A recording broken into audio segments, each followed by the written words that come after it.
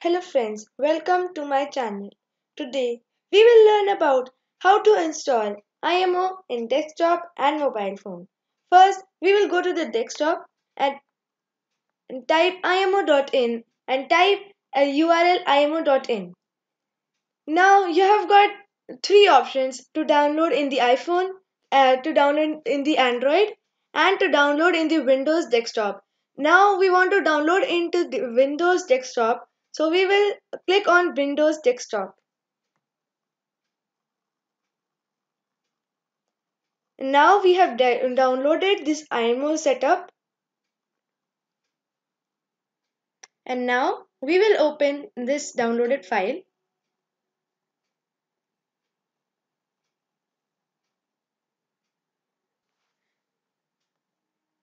Now you have got the terms and conditions box. Now click install. And it is finished. And now we have got the IMO app. And you can see that we have got this application. As and now I have my IMO on my phone, so I will click on yes. You have to type, you have to mention your country and your phone number. Now I have added my phone number.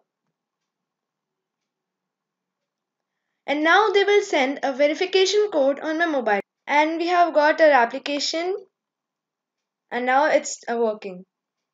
Uh, you could invite your friends or create a group. I have already created a group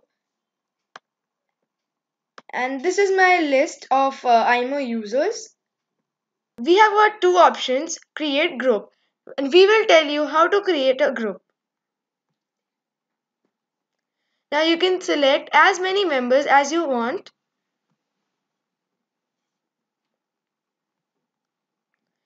And you can cancel the uh, person who you don't want.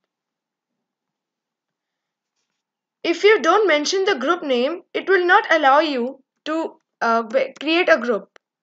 Now I have created a group